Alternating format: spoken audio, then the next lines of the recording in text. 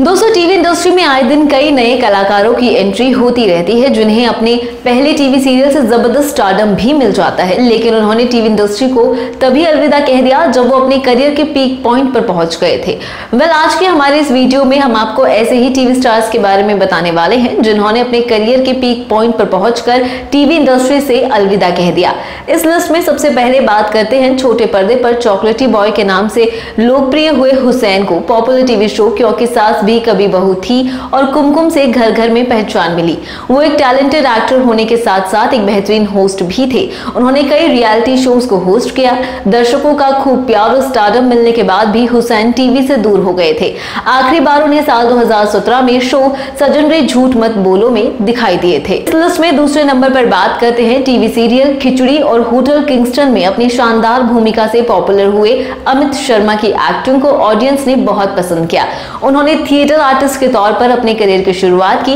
छोटे पर्दे के अलावा एक्टर अमित ने किस्मत कनेक्शन डिटेक्टिव नानी और सिंघम रिटर्न्स जैसी फ़िल्मों में भी काम किया। लेकिन उन्हें वो स्टारडम नहीं मिला, जिसके वो हकदार थे। इस लिस्ट में तीसरे नंबर पर बात करते हैं टीवी शो कसौटे ज़िंदगी की के अनुराग बासु को।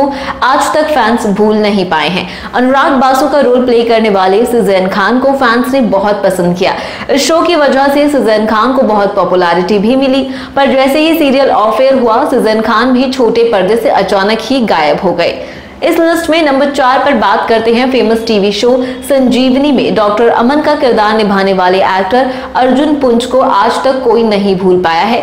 जब ये शो ऑन एयर हुआ था, तब एक्टर ने अपने चुलबुले किरदार से फैंस का दिल जीत लिया था। ये अर्जुन का पहला टीवी सीरियल था। अपने पहले ही सीरियल से अर्जुन को बहुत पॉपुलैरिटी मिली। उनकी एक्टिंग को दर्शकों ने काफ़ी पसंद किया था।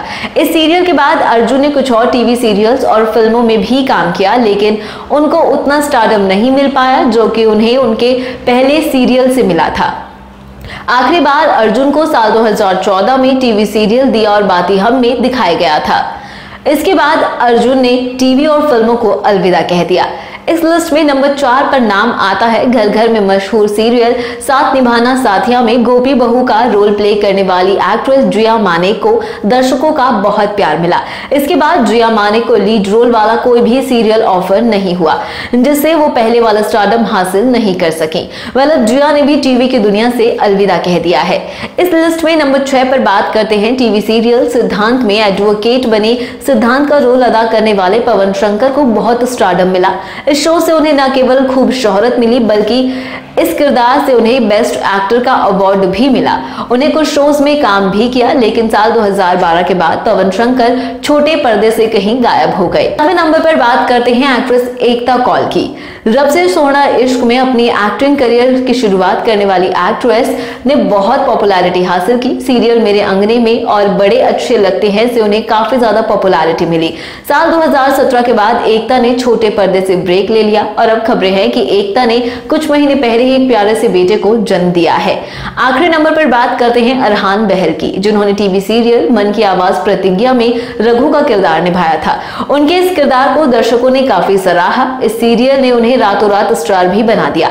इस सीरियल के बाद दूसरे शो में भी उन्हें एक्टिंग करने का मौका मिला, लेकिन वो स्टारडम उन्हें नहीं मिला, जो उन्हें मन की आवाज़ प्रतिज्ञा सीरियल से मिला था। इसके बाद वो टीवी से कहीं गायब हो गए। हाल ही में अरहान को सीरियल ये जादू है जिनका में, एक जिन के रोल में दिखाया जा रहा है। वेल दोस्तों, इन सभी टीवी एक्टर्स में से आप किसको सबसे ज़्यादा मिस करते हैं और किस एक्टर को आप फिर से टीवी पर कम करते हुए देखना चाहते हैं, हमें उनका नाम कमेंट करके ज़रूर बताएँ। अगर आपको हमारी ये वीडियो पसंद आई तो उसे लाइक कीजिए और शेयर कीजिए। साथ ही टीवी इंडस्ट्री से जुड़ी ऐसी चटपटी और मसालेदार खबरें जानने के लिए हमारे चैनल को सब्सक्राइब करना बिल्कुल ना भूलें।